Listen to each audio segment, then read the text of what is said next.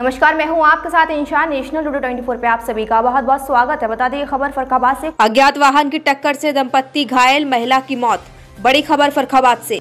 अज्ञात वाहन ने मारी टक्कर, महिला बाइक से उछल कर गिरी सड़क पर। घायल महिला को परिजन सीएचसी लेकर पहुँचे। सीएचसी में आधा घंटे तक नहीं मिला डॉक्टर। महिला तड़पती रही। ड्यूटी पर डॉक्टर के आने के बाद महिला को मृत घोषित किया। अलीगंज रिश्तेदारी से लौट रहे थे दंपति महिला की मौत की सूचना पर परिजनों में मचा कोहराम। कायमगंज कोतवाली क्षेत्र के रेलवे रोड की घटना है, जहाँ पर आज अज्ञात वाहन की टक्कर से दंपत्ति घायल हुए महिला की मौत हो गई। सीएचसी में आधा घंटे तक महिला तड़पती रही, पर कोई डॉक्टर नहीं मिला। ड्यूटी पर डॉक्टर के आने के बाद महिला को मृत घोषित कर दिया गया। खास रिपोर्ट देखिए रघुवंश दुबे के साथ।